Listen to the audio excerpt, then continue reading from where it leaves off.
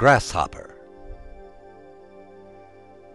There was once a merry young Indian who could jump so high and who played so many pranks that he came to be known as Grasshopper. He was a tall, handsome fellow, always up to mischief of one kind or another, and though his tricks were sometimes amusing, he carried them much too far, and so, in time, he came to grief. Grasshopper owned all the things that an Indian likes most to have. In his lodge were all sorts of pipes and weapons, ermine and other choice furs, deerskin shirts wrought with porcupine quills, many pairs of beaded moccasins, and more wampum belts than one person could have honestly come by. The truth is, Grasshopper did not get these things by his courage and skill as a hunter. He got them by shaking pieces of colored bone and wood in a wooden bowl and throwing them on the ground. That is to say, Grasshopper was a gambler, and such a lucky gambler that he easily won from others with his game of Bowl and Counters the things that they had obtained by risking their lives in the hunt. If people put up with his ways and even laughed at some of his mad pranks, it was because he could dance so well. Never had there been such a dancer.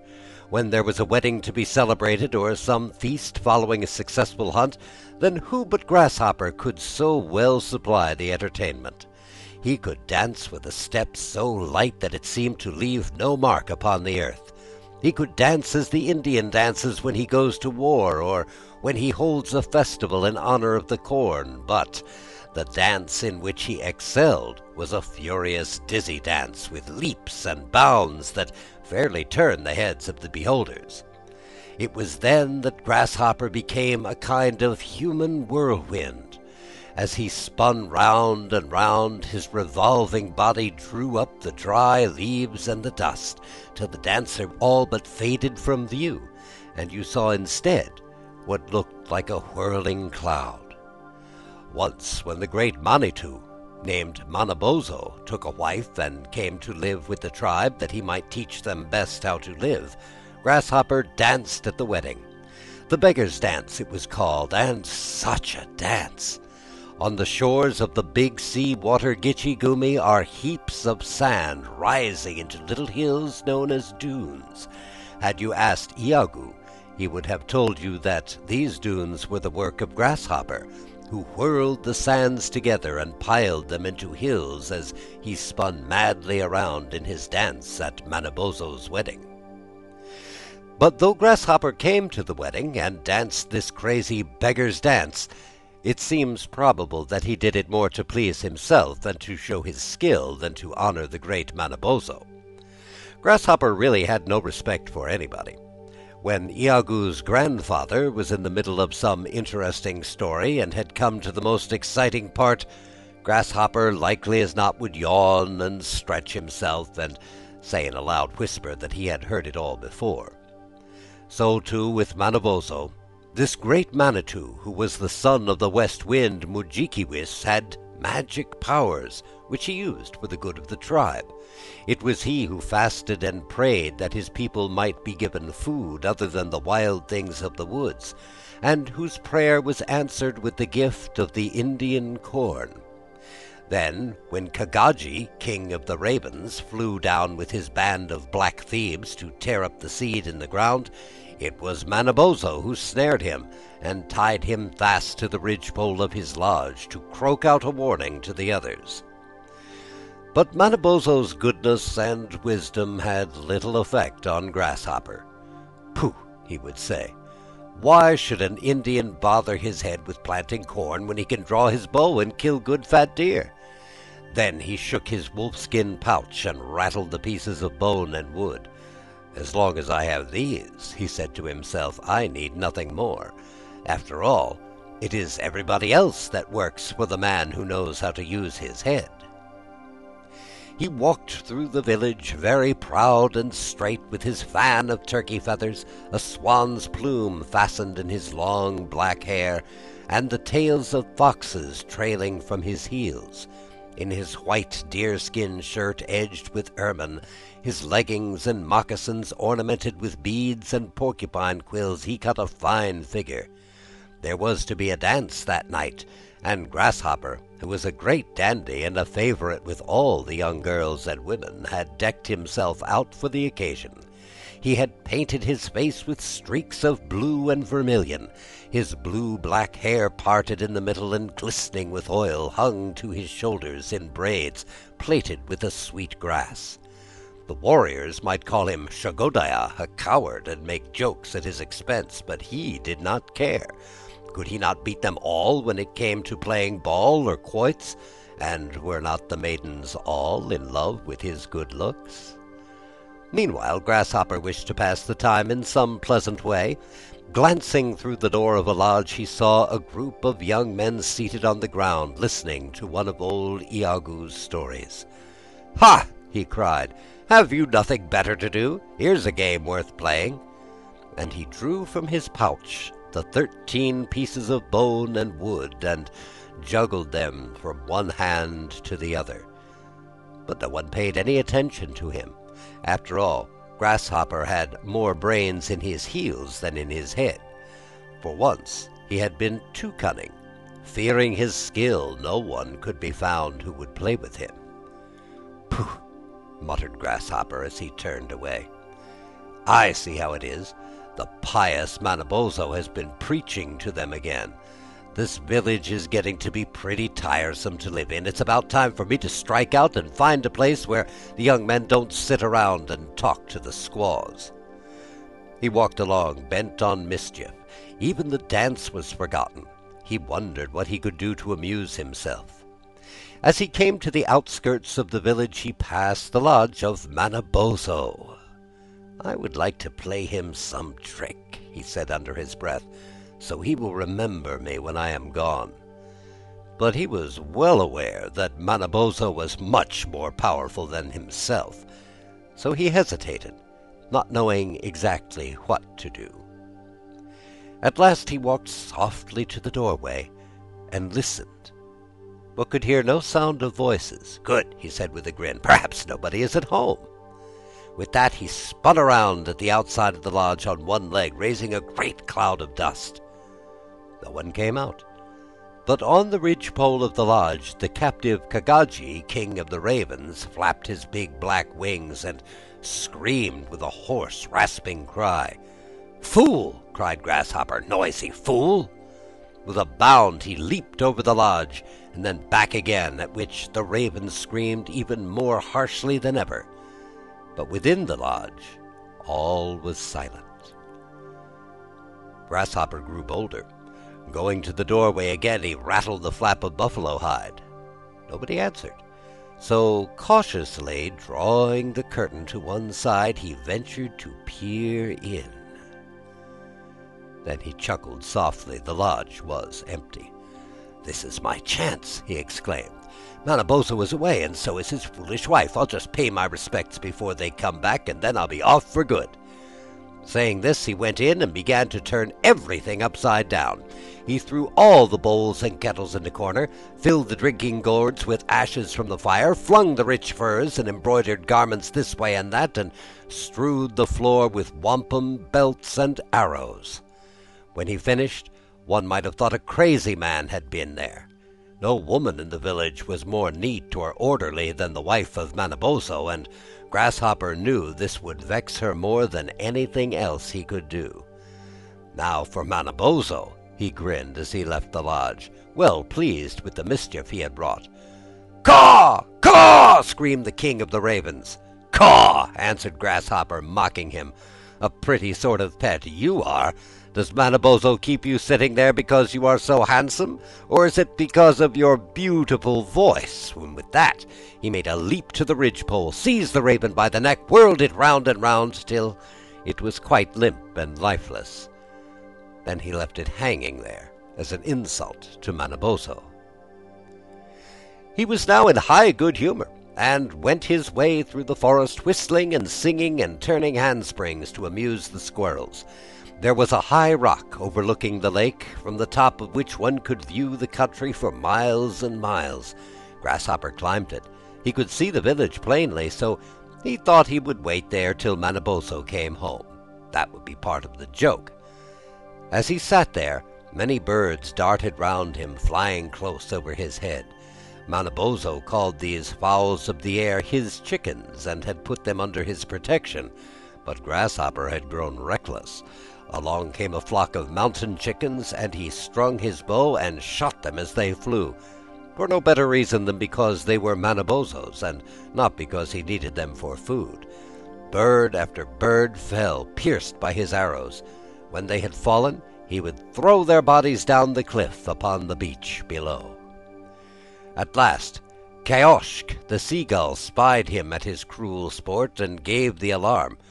Grasshopper is killing us, he called. Fly, brothers, fly away and tell our protector that Grasshopper is slaying us with his arrows. When Manabozho heard the news, his eyes flashed fire, and he spoke in a voice of thunder. Grasshopper must die for this. He cannot escape me, though he fly to the ends of the earth. I shall follow and visit my vengeance upon him. On his feet he bound his magic moccasins, with which at each stride he could step a full mile. On his hands he drew his magic mittens, with which at one blow he could shatter the hardest rock. Then he started in pursuit. Grasshopper had heard the warning call of the seagull and knew it was time to be off. He too could run.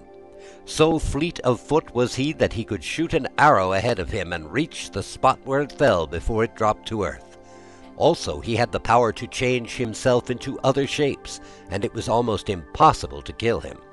If, for example, he entered the body of a beaver and the beaver was slain, no sooner had its flesh grown cold than the jibi, or spirit, of Grasshopper would leave the dead body, and Grasshopper would become a man again, ready for some new adventure. But at first he trusted to his legs and to his cunning. On rushed Manabozho, breathing vengeance.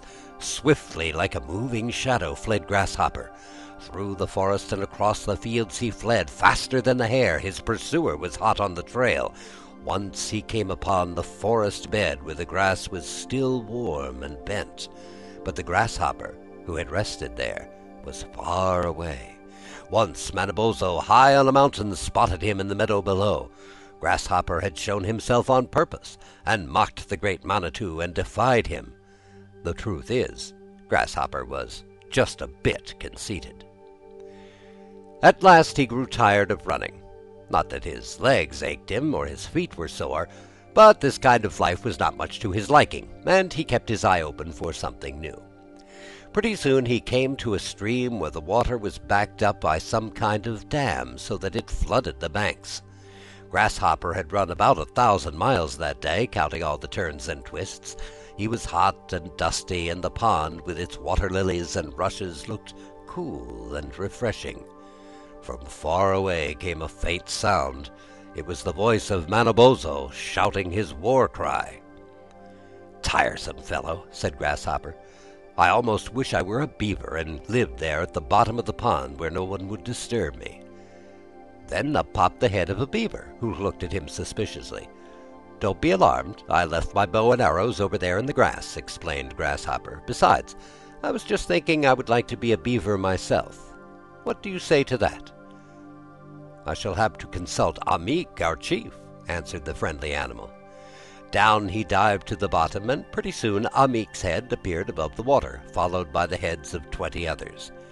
Let me be one of you, said Grasshopper. You have a pleasant home down there in the clear, cool water and I am tired of the life I lead.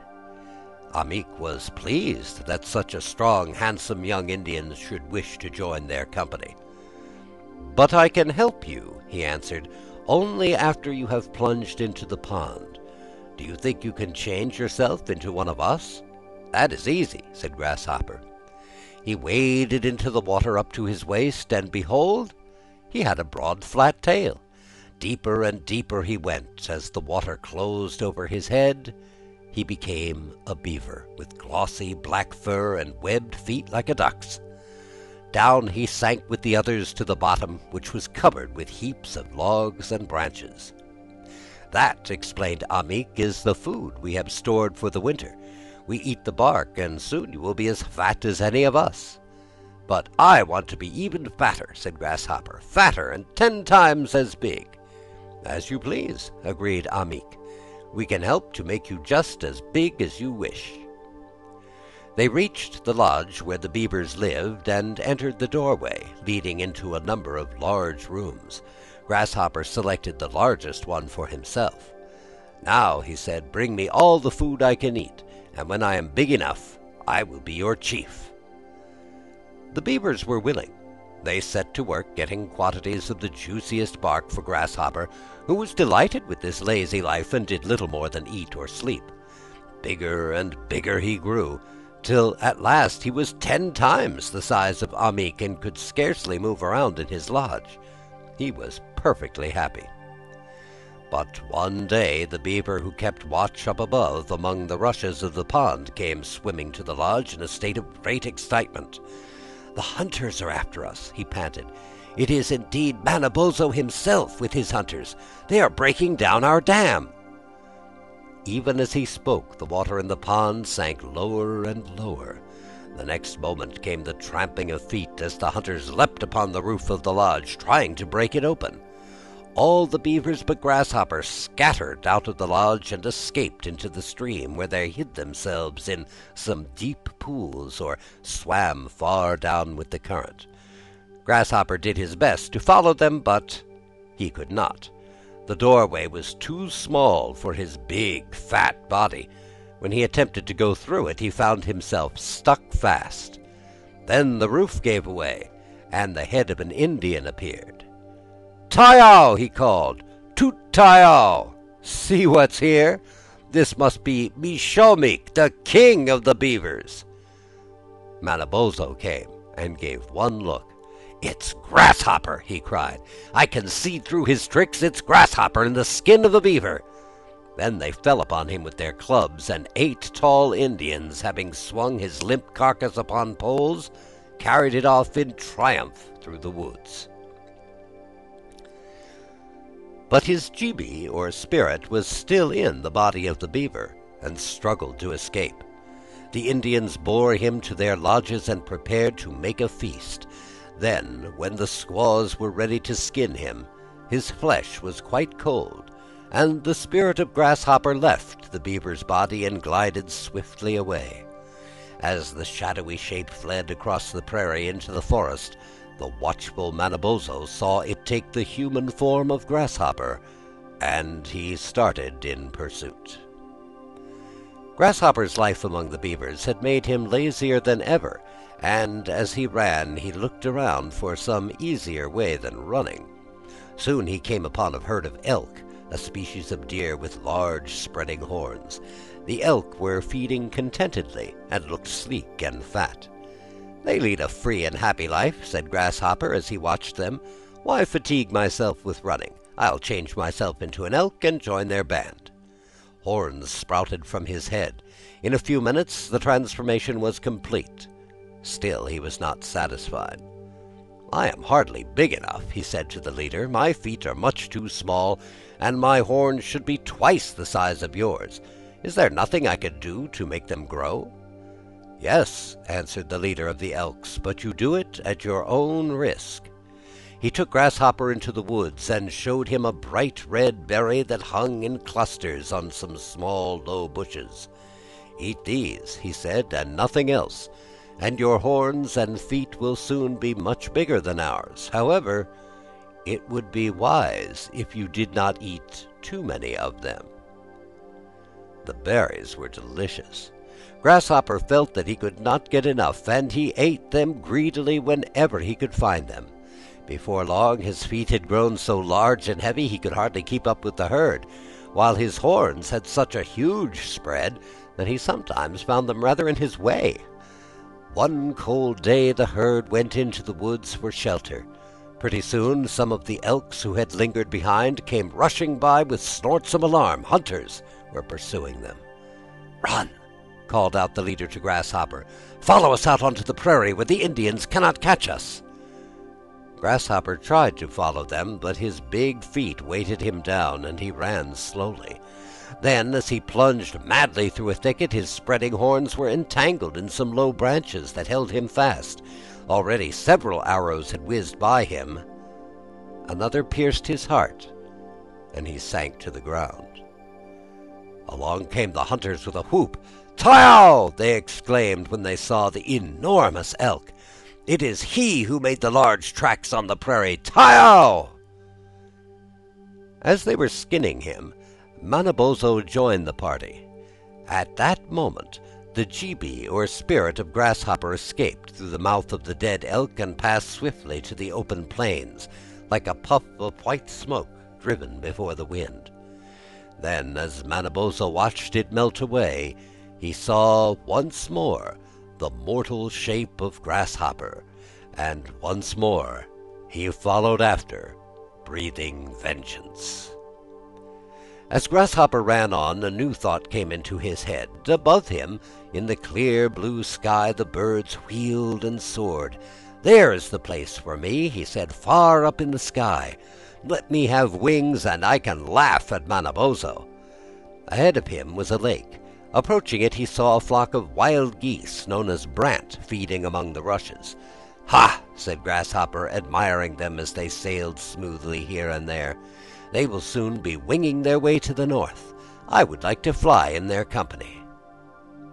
He spoke to them, calling them Pishniku, his brothers, and they consented to receive him as one of the flock.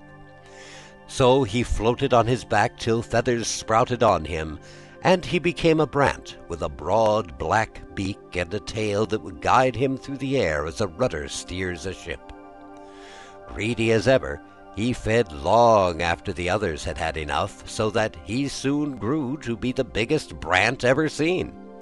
His beak looked like the paddles of a canoe. When he spread his wings, they were as large as two large apukwa or mats. The wild geese stared at him in astonishment. You must fly the lead, they said.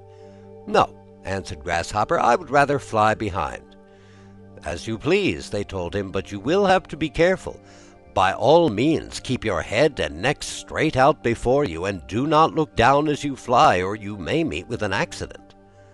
It was a beautiful sight to see them flap their wings, stretch their long necks, and rise with a whir from the lake, mounting the wind and rushing on before it. They flew with a breeze from the south, faster and faster till their speed was like the flight of an arrow. One day, passing over a village, they could hear the people shouting. The Indians were amazed at the size of the big brant flying in the rear of the flock. Yelling as loud as they could yell, their cries made Grasshopper curious. One voice especially seemed familiar to him and he could not resist the temptation to draw in his neck and stretch it down toward the earth. As he did so, the strong wind caught his tail and turned him over and over. In vain he tried to recover his balance. The wind whirled him round and round as it whirls a leaf. The earth came nearer, and the shouts of the Indians grew louder in his ears. At last he fell with a thud and lay lifeless. It was a fine feast of wild goose that had dropped so suddenly from the skies. The hungry Indians pounced on him and began to pluck his feathers. This was the very village where Grasshopper had once lived. Little had he dreamed that he would ever return to supply it with such a dinner, a dinner at which he himself was to be the best dish. But again his jibi, or spirit, went forth, and fled in the form of Grasshopper. Again Manabozho, shouting his war cry, followed after. Grasshopper had now come to the desert places, where there were few trees and no signs of animal life. Manabozho was gaining on him, and he must play some new trick. Coming at last to a tall pine tree growing in the rock, he climbed it, pulled off all the green needles, and scattered them about, leaving the branches quite bare. Then he took to his heels again, when Manabozho came, the pine spoke to him, saying, See what Grasshopper has done. Without my foliage I am sure to die. Great Manitou, I pray you give me back my green dress. Manabozho, who loves and protects all trees, had pity on the pine. He collected the scattered needles and restored them to the branches. Then he hastened on with such speed that he overtook Grasshopper and put his hand out to clutch him But Grasshopper stepped quickly aside, and spun round and round on one leg in his whirlwind dance, till the air all about was filled with leaves and sand. In the midst of this whirlwind he sprang into a hollow tree and changed himself into a snake. Then he crept out through the roots, and not a moment too soon, for Manabozho smote the tree with one of his magic mittens, and it crumbled to powder. Grasshopper changed himself back into his human form and ran for dear life. The only thing left for him to do was hide, but where? In his headlong flight he had come again to the shores of the great lake, and saw rising before him the high cliff of the picture rocks. If he could but manage to reach those rocks, the Manitou of the mountain, who lived in one of the gloomy caverns, might help him. Sure enough, as he reached the cliff, calling out for help, the Manitou opened the door and told him to enter. Hardly had the big door closed with a bang that along came Manabozho. With his mitten he gave a tap on the rock that made the splinters fly. Open! he cried in a terrible voice. But the Manitou was brave and hospitable. I have sheltered you, he said to Grasshopper, and I would rather die myself than give you up. Manabozho waited, but no answer came. As you will, he said at last. If the door is not opened to me by night, I shall call upon the thunder and the lightning to do my bidding. The hours passed. Darkness fell. Then from a black cloud that had gathered over the great lake, Wawissimo, the red-eyed lightning, shot his bolts of fire. Crash! Boom! Crash! Animiiki, the thunder, shouted hoarsely from the heavens. A wild wind rose, and the trees of the forest swayed and groaned, and the foxes hid in their holes. Wawissimo the lightning leapt from the black cloud and darted at the cliff. The rock trembled, the door was shivered, and fell apart. Out from the gloomy cavern came the Manitou of the mountain, asking Manabozho for mercy. It was granted, and the Manitou fled into the hills. Grasshopper then appeared. The next moment he was buried under a mass of rock shaken loose by Animiki the Thunder. This time he had been killed in his human form, and could play his mad pranks no more. But Manabozho the Merciful remembered that Grasshopper was not wholly bad. Your jibi, he said, must no longer remain upon the earth in any form whatever. As a man, you lived an idle, foolish life, and you are no longer wanted here. Instead, I shall permit you to inhabit the skies. Saying this, he took the ghost of Grasshopper and clothed it with the shape of the war eagle, bidding him to be chief of all the fowls. But Grasshopper the mischievous is not forgotten by the people. In the late winter days, snow fine as powder fills the air like a vapor. It keeps the hunter from his traps, the fisherman from his hole in the ice. Suddenly a puff of wind seizes this light powdery snow, blows it round and round, and sets it whirling along.